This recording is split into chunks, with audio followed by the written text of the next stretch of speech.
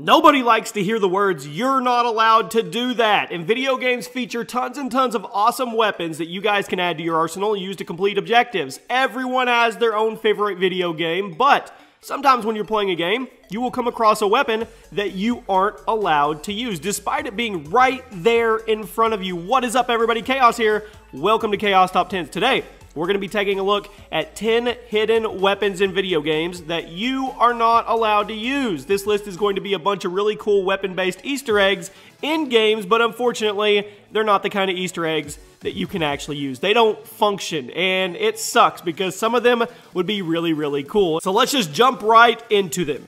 At number 10, the Skyrim arrow and Dragonborn helmet in Doom 2016. This is a very cool Easter egg, and if you know me, you know I'm a fan of cool Easter eggs, and you can find this one in the Doom reboot. In case you didn't know, the Doom reboot was published by Bethesda, so naturally, there are a few references to other Bethesda properties in the game, and one of them was an arrow and Dragonborn helmet from Skyrim. While you're playing through the mission at Kajijar Sanctum, hope I said that right, you can duck into a small cave after killing the first Baron of Hell, and uh, by going all the way to the back of it, you will find a skeleton wearing the Dragonborn helmet with an arrow sticking out of its knee. Does anybody remember the arrow to the knee meme? However, Doom Guy doesn't care about the old school weaponry, so he leaves it there instead of taking it with him to kill demons, which that kind of sucks, but it does make sense. It, it would have been cool though. Could you imagine Doom Guy running around hell killing demons with Skyrim weaponry? At number 9, the MP40 in Call of Duty Black Ops. Now, the MP40 is a fan favorite weapon of many Call of Duty players, especially after its ridiculously overpowered appearance in World at War. When it came time for Treyarch to make their next Call of Duty game, many people expected the MP40 to return, but it actually doesn't. Well, it, it kind of doesn't. The details are pretty weird here.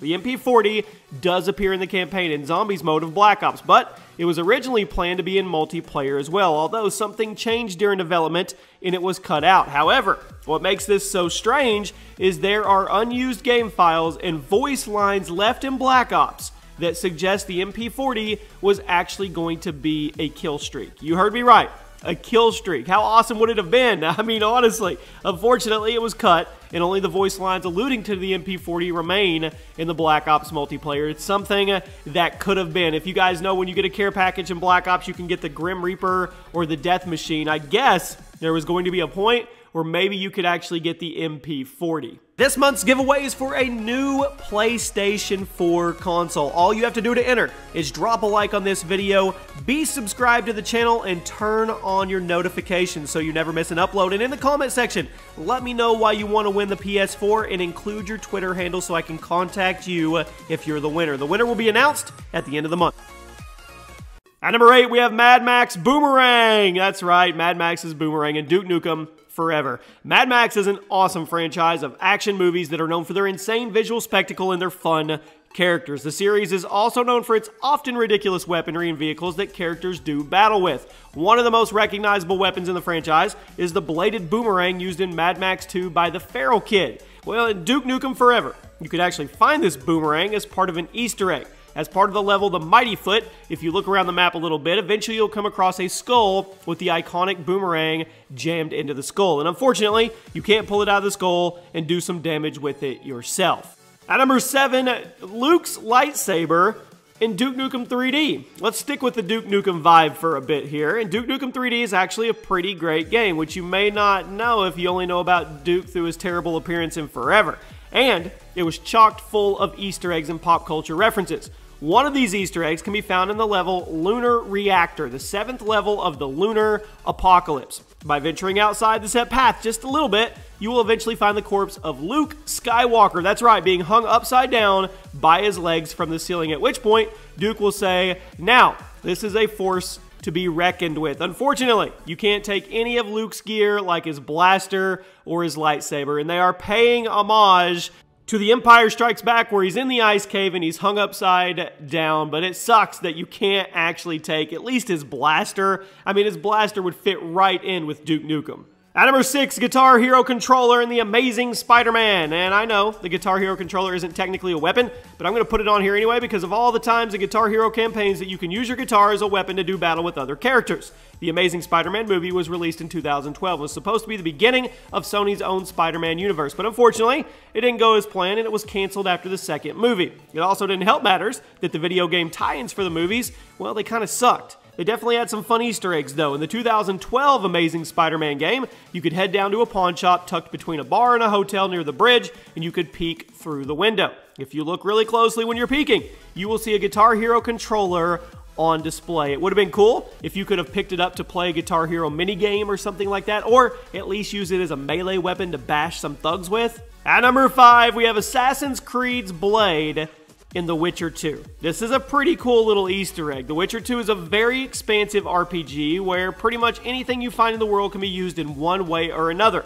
It was also released back in 2011 when the Assassin's Creed franchise was dominating, so this is a fun little jab at Ubisoft. CD Projekt Red threw an Assassin's Creed Easter egg into Witcher 2. If you look around near the, the ballista in the beginning of the game, you'll come across a dead assassin who seems to have died from a fall. And upon walking up to him, Geralt will say, Guess they never learn. And you'll even get a new ability called Assassin. However, you can't loot the assassin's body for his hidden blades. How epic would that be to play The Witcher, but with the wrist blades? And they're kind of making fun of him. You know how they have their epic jumps off tall buildings? And he says, I guess they'll never learn.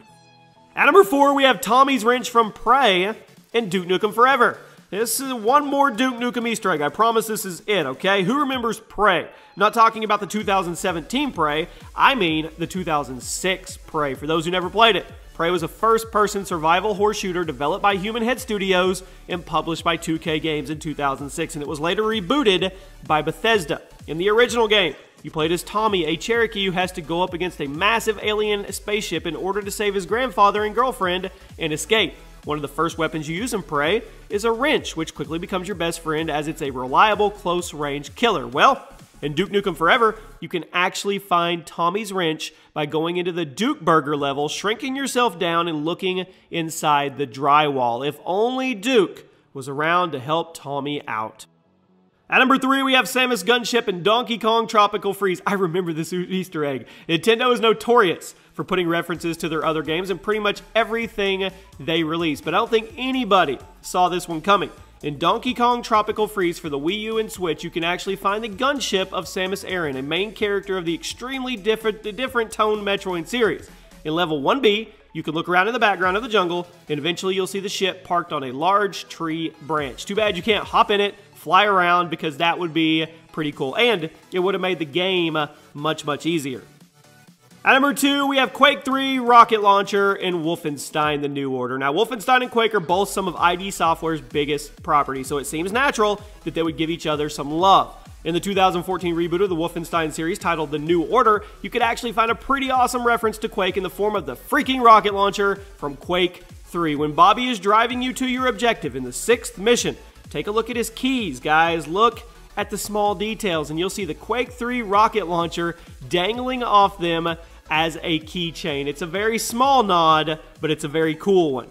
And finally today, my friends, Insomniac Museums in Ratchet and Clank. Finishing off the list is an idea that I think is actually really cool, and I wish more developers did something like this. As you probably know, a lot of stuff gets cut during the development of pretty much every video game, and as a developer, that probably sucks to see all that work go to waste and know that nobody is ever going to lay eyes on it. So, in a few of the Ratchet and Clank games, the devs decided to find a place for all the cut content in the form of what they call the Insomniac Museum. And by going there, you can see all the stuff that was cut from whatever game you are playing, be it concept art or new weapons, whatever it may be it is showcased in there. And it's just a shame that you can't take any of these weapons off the display and take them out for a spin while you're in there because there's a ton of weapons in there and a lot of them would have been they would have been truly awesome to be in the game. But it's still cool that they found a place where you could see all the stuff that didn't make it. And there you go, my friends. Those are 10 Easter egg weapons that you're not allowed to use. They get put right in front of your face. They get you all excited when you find them. Uh, and then you're not allowed to actually function with them. It sucks, but they're still pretty cool Easter eggs. Let me know an Easter egg, I guess a weapon Easter egg that you have found that nobody else knows about in the comment section. If you guys enjoyed the video, take a second, drop a like, make sure you're subscribed, turn on those notifications, and I will see you guys very, very soon. This month's giveaway is for a new PlayStation 4 console. All you have to do to enter is drop a like on this video, be subscribed to the channel, and turn on your notifications so you never miss an upload. And in the comment section, let me know why you want to win the PS4 and include your Twitter handle so I can contact you if you're the winner. The winner will be announced at the end of the month.